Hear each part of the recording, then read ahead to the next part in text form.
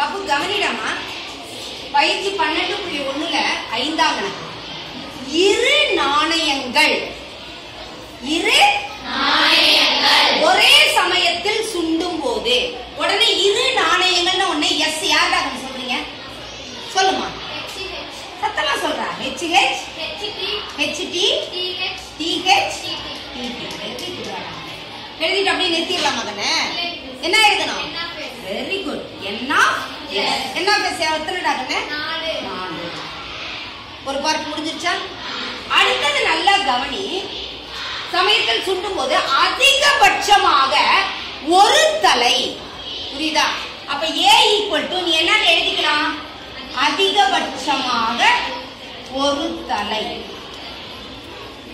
ஒரு தலை கிடைப்பதற்கான நிகழ்தகவு என்க இப்ப நல்லா கவனிக்கணுங்க இந்த வார்த்தைய. அதிகபட்சமாக அதிகபட்சமாக ஒரு தலை.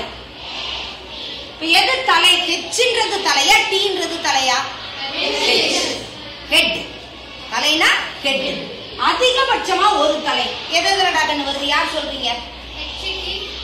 ஹெச்டி டிஹெச் புரியுதா? ஹெச்டி டிஹெச் இதோட கணக்கு முடிஞ்சிடல. கவனிக்கணும். அதிகபட்சமாக ஒரு தலைனா ஒண்ணு அதிகமா இருக்கும் பொழுது நம்ம என்ன பண்ணலாம்னா அதை குறைக்கலாம். எதிர்ப்பதை என்ன? அதிகத்துக்கு எதிர்ப்பது என்னது? குறைவு.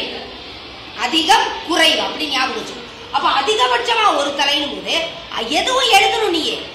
குறைதலை எழுதணும். அப்ப அதிகபட்சமா ஒரு தலை எழுதிட்டோம். இப்ப இந்த ஒரு தலையும் இல்லாம இருக்கிறது எதுன்னு பார்க்கணும். எதிராக இல்லாம இருக்கு? ரைட்டா ரைட் இல்லையா? அதிகபட்சம்னு கேட்கும்போது குறைவு. குறைந்தபட்சம்னு கேட்கும்போது அதிகம். எதிர்ப்பதை ஞாபகம் வச்சுக்கோ. அதிகம்னா அதிகத்தை எழுதி அடுத்து குறைவானதையும் எழுது. குறைந்தபட்சம் கேட்கும்போது என்ன பண்ணும்? குறைந்ததை எழுதி அதை விட அதிகமா இருக்கிறது. அப்ப இதுல எதை சேர்த்திக்கலாம் நம்ம? இதோட முடிஞ்சிருச்சாக்கண்ணே ஏ எழுதிட்டோம் அடுத்தது என்ன வரணும்? என்ன எவ்வளோடா கண்ணே? ரெண்டாவது பார்த்து முடிஞ்சுதா? முடியல. அடுத்தது இன்னொன்னு என்ன? ஒருத்தர் சொல்ல ஃபார்முலா சொல்றா. of a divided by n of s. N of a எவ்வளோடா கண்ணே